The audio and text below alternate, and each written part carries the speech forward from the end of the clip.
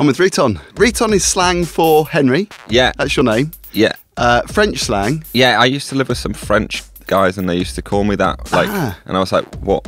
What's this? Reton?" It's because I was going to say you're not French because you're from No. Newcastle upon Tyne. I lived with some French students when Yeah. I was about 16. They were uh, always calling me Reton, and I was like, "Ah, that's a pretty good name." Because I know some people that pronounce you as right on. Yeah. Also, I'm from Geor- from Newcastle, so I'm a Geordie, so Reton. So like, That makes sense. it's like a bit. Uh, it sounds different up there, you know. So, where were you when you first realised that Rinse and Repeat was such a massive tune? Not just as a top 40, top 20 track, but also, you know, the response from DJs that were playing it, and the response was pretty huge, wasn't it, at the time? At, at that point, I'd moved to America, and I was kind of managerless. Actually, I didn't have a manager. I'd moved over there. I was in a new relationship, and uh, I was sort of like having a fresh start. I'd lived in London for 12 years, moved my studio over there. I was just making music, you know, and just that was one of the tracks that that sort of stuck out, you know. I think the first big reaction probably was when I put it up on SoundCloud and stuff, and immediately like I had a lot of like record labels getting in touch with me about trying to sign it. I was like, whoa, An amazing achievement to be nominated, regardless of whether you win or not. You Yeah. didn't in that case, Yeah. but. I Yeah. think you you probably won a Grammy because you what you looked amazing when Oh, you went to the you. to the Grammys. You wore a, a silver sparkly jacket and the That gold was- um, glitter shades. Yeah, too. yeah, yeah, yeah. That was pretty good. That's um, a, a friend of mine. He's a designer. He has um, a brand called Libertine, and it's really wild. And I'd, he he's made these sequin jackets for a few years. This um, silver one he gave me is really cool. It's like one way you push it, your sequins up, it goes like matte, and one way down, it's like super glitter ball style. Fantastic. But yeah, it's amazing. Yeah, he's Everyone will want one now. You realise Yeah. you might get commission. Yeah. for your mate for yeah. I mean. I love those. so what was the Grammy experience like? Was, Um, was that quite surreal? That was completely surreal. It started off with my morning was um, wake up 7 a.m.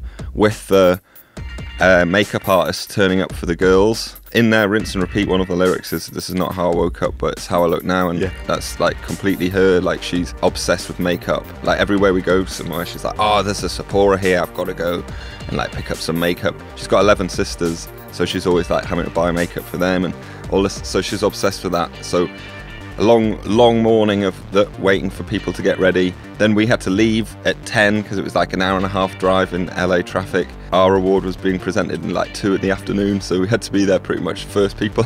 By 12, it was like rammed, everyone going up the red carpet, lots of camera crews hanging out, taking Yeah. pictures and stuff.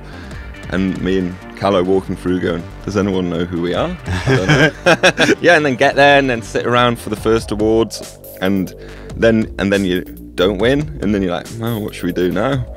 you know, Did you feel disappointed, I, or was it? I wasn't like credit to my manager. He was like, "Listen, man, like I don't think you're gonna win it." Like he always kept my feet on the ground with that. Yeah. He's like, "Don't get like hyped about it, but just go and enjoy it, you know, and, and take some pictures for your Instagram. It'll be cool." You'll get one next year. Yeah, maybe.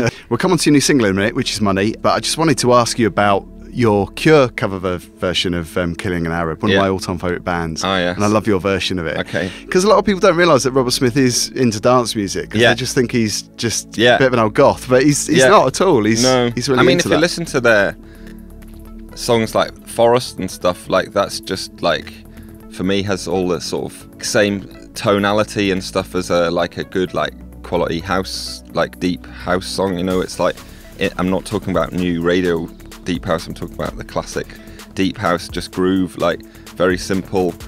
Yeah, like I think there's some definitely like a comparison between goths and and techno people. Yeah, You know what I mean? I agree because it's massive in Europe, isn't Yeah, it? Too. yeah. I mean, in Berlin and Yeah. places where you got that industrial Yeah, yeah, scene. I think there's a it massive overlaps. crossover there. Yeah. Yeah. Were you a fan of the Cure before you? Yeah, I mean, it was that record was one of the first records I bought. It was like on vinyl when I finally got a record player because we didn't have a record player in my mum and dad's house because it wasn't really the time, the era for that. It was cassettes and stuff.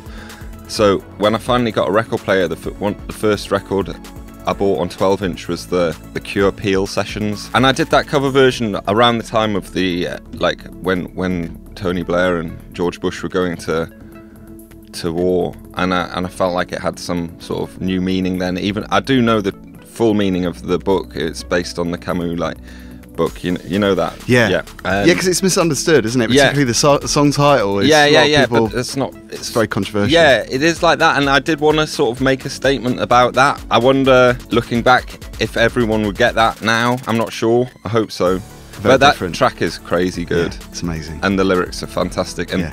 Then it's got a really good guitar solo on it too. Money, the new single, it's fantastic. We're, we're supporting it. Um, Yeah. A great collaboration team again. You've Yeah. got Kah-Lo back Yeah. to do the vocals. She's brilliant. Yes, she's She the really best. is. Very relaxed person, super nice.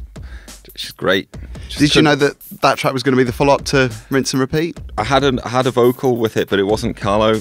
Kah-Lo was singing the female part of it, but I had the the male part, and I was really searching for the right person to do that. And Kah-Lo worked in the same studio in in Lagos with uh, Mr. Eazi sometimes, and she was like, hey, "You got to try this guy." Uh, and she sent me some stuff, and I was like, listened, I loved it, and he's really cool. So him and uh, another Nigerian singer called Dave Davido, who's incredible too. Yeah. So it's kind of like brilliant. And It's a good is- team, isn't it? Yeah, and Cal- Kah-Lo really yeah help help pull all that together. Yeah.